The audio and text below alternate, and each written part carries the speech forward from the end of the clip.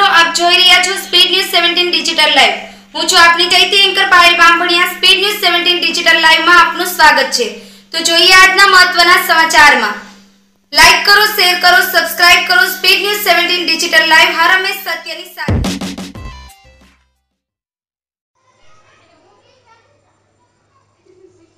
Covid નાઇન્ટીનની ત્રીજી લહેરની શક્યતાને પહોંચી વળવા દિયોદર સામૂહિક આરોગ્ય કેન્દ્ર અને પ્રાથમિક આરોગ્ય કેન્દ્ર રવેલમાં અમદાવાદની માનવ વિકાસ અને સંશોધન કેન્દ્ર અને જિલ્લાની બીડીએસ સંસ્થા દ્વારા આરોગ્ય કીટનું વિતરણ કરવામાં આવ્યું.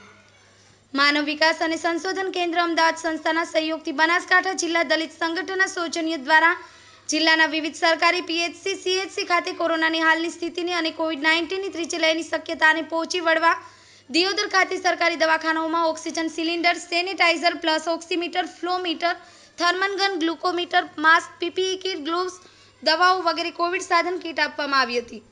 ત્યારે સંસ્થાના કાર્યકરો સાથે આ રાહત સામગ્રી kit Diyodar block health officer doctor Brijesh Vyas, Diyodar referral hospital medical officer Shri doctor Pankaj Gupta, doctor Pratik Rathod એકસો આઠ પાયલોટ ટીમના દિનેશભાઈ નાઈએ સ્વીકારી કોરોના કાળમાં સંસ્થાનો આભાર વ્યક્ત કરતા ઉત્સાહપૂર્વક સામગ્રી સ્વીકારી હતી. મહત્વનું છે કે માનવ વિકાસ અને સંશોધન કેન્દ્ર અમદાવાદ સંસ્થાના દીપકભાઈ સોલંકી, બાબુભાઈ સિયોરા દિયોદર જયપી એકતા મંડળ પ્રમુખ શંકરલાલ સોલંકી સામાજિક કાર્યકર સેધાભાઈ પરમાર, જમનાબેન પરમાર, ભરતભાઈ છત્રાલિયા, રણછોડભાઈ ચૌહાણ, પ્રવીણભાઈ પરમાર બીડીએસ દિયોદરના કાર્યકર મુકેશભાઈ ચૌહાણ, ભૂરીબેન પરમાર સહિતના સામાજિક કાર્યકર ઉપસ્થિત રહ્યા હતા. કોરોના કાળમાં આ કાર્ય માટે માનવ વિકાસ અને સંશોધન કેન્દ્ર અમદાવાદ અને બનાસકાંઠા દલિત સંગઠન અને આ કાર્ય માટે પ્રેરણારૂપ સંસ્થાના નિયામક એલિસ મોરિસ અને બીડીએસ પ્રમુખ દલપત ભાટિયાનો આભાર વ્યક્ત કર્યો હતો. Indubha Vaghela, speed news seventeen digital live Diyodar.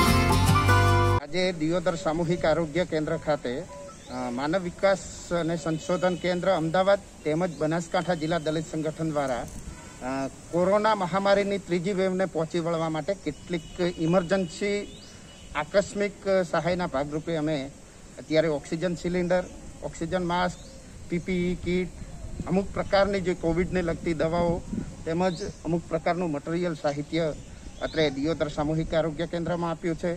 હવે પછી રવેલ પીએચસીમાં આપવાના છીએ.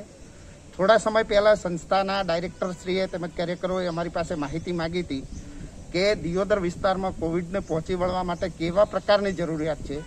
ત્યારે જે નીડ્સ હતી, જરૂરિયાત હતી, એ જરૂરિયાતની માગણી મુજબ અમે ત્યાં રજૂઆત કરેલી. એના અનુસંધાને આજે જે પણ મટીરિયલ કે માલ સામાન આવ્યો છે, એ સામૂહિક આરોગ્ય કેન્દ્ર દિયોદર ખાતે આપ્યો છે. ખાસ અમારે અત્યારે જે કોરોનાની ત્રીજી વેવની શક્યતાઓ રહેલી છે, એ ત્રીજી વેવને પહોંચી વળવા માટે સરકારી તંત્રને મદદરૂપ થવું, આરોગ્ય તંત્રને મદદરૂપ થવું એ હેતુથી એક સામાજિક સંસ્થા, સામાજિક સંગઠનના કાર્યકરો દ્વારા સામાન પૂરો પાડવામાં આવે છે.